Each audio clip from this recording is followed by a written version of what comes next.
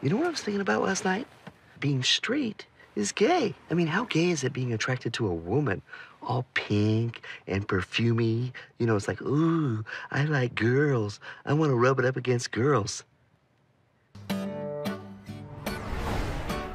Uh-huh. My name is Will, and this is my office, Coffee Town. You're asleep. No, I'm not. This is Sam. He sees people like us as parasites, squatters in his house of free Wi-Fi. Medium drip, lightly sweetened, light soy. Medium drip for Will. But the best part of having a coffee shop as your office is your friends can come hang out whenever they want. It's safe. Oh, the safety's on. Calm down. The safety's on. Ah, the safety's off. Whoa, here comes your girl. Becca. Might as well get pumped up, get some veins showing, all right? Oh, make myself look bigger?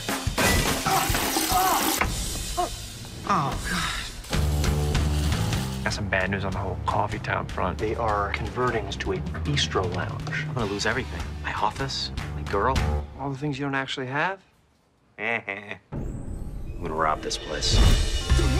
If the executives think this is a bad neighborhood, they won't convert the store. So how are we gonna do it? Just grab all the cash?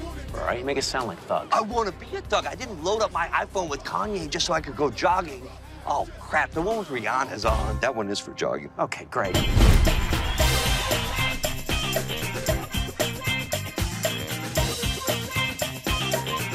Retard. Hey, you're a retard!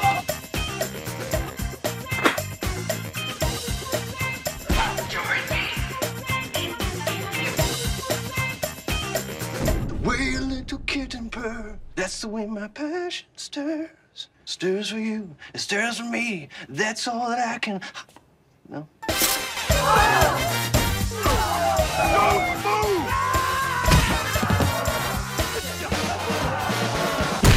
He's got Down syndrome! You want to be straight? Shove it up another guy's. That's straight.